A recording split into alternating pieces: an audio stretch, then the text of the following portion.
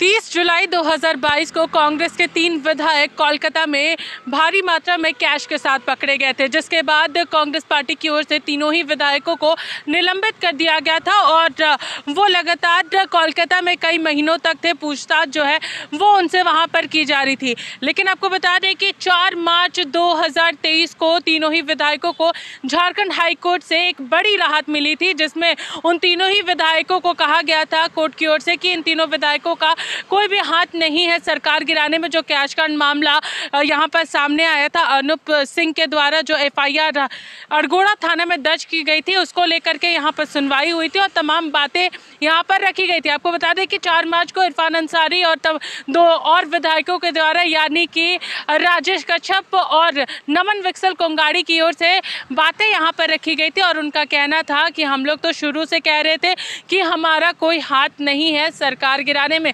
सरकार में हम खुद मौजूद हैं तो हम अपनी सरकार को क्यों गिराएँगे?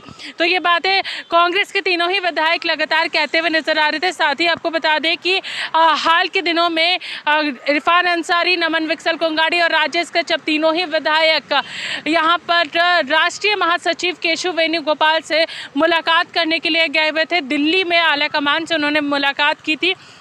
और यहाँ पर निलंबन मामले को लेकर के भी अपनी बातें यहाँ पर उनके सामने रखी थी कि आखिर निलंबन कब वापस लिया जाएगा। ये तमाम बातें जो है वो सामने आई थी।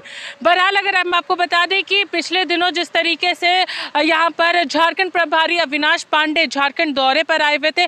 बारह दिवसीय इस कार्यक्रम में चौबीसों जिलों का भ्रमण किया गया था। वहीं दूसरी ओर यहाँ पर कोलेबिरा विधायक नमन विक्सल कोंगाड़ी की ओर से यहाँ पर भावुकता जो है वो यहाँ पर नज़र आई थी। आपको बता दें कि जब उन्होंने प्रभारी अविनाश पांडे से तमाम बातें रखी थी कि आखिर हम लोग का निलंबन कब वापस लिया जाएगा इसको लेकर के क्या कुछ बातें आ रही हैं, तमाम सवाल उन्होंने यहाँ पर प्रभारी से पूछे थे कि क्या कुछ होगा, वहाँ पर वो भावुक भी नज़र आए थे।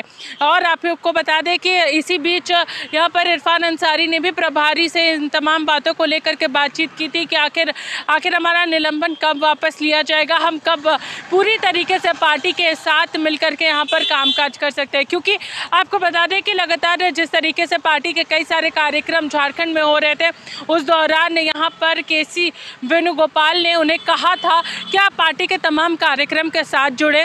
कामकाज करें, बहुत जल्द इसको लेकर के भी चर्चाएँ होंगी और बहुत जल्द आप लोगों का निलंबन भी वापस लिया जाएगा। तो तमाम चीज़ें यहाँ पर देखने को मिल रही है, लेकिन अब तक यहाँ पर उनका जो निलंबन है, वो वापस नहीं लिया गया है पार्टी की ओर से। और लगातार ये सवाल भी उठ रहे हैं कि जब कोर्ट की ओर से यहाँ पर तमाम बातें स्पष्ट कर दी गई है तो ये निलंबन कब वापस लिया जाएगा? यहाँ पर विधायक जो है वो भी इंतज़ार करें कि आखिर इस पर क्या कुछ आगे यहाँ पर आला कमान करने वाले कब आखिर उनका निलंबन वापस होगा? ये बहुत बड़ा सवाल फ़िलहाल है। फ़िलहाल मेरे साथ इतना ही, तब तक के लिए देखते रहिए रिपोर्ट पोस्ट मैं पूजा। नमस्कार।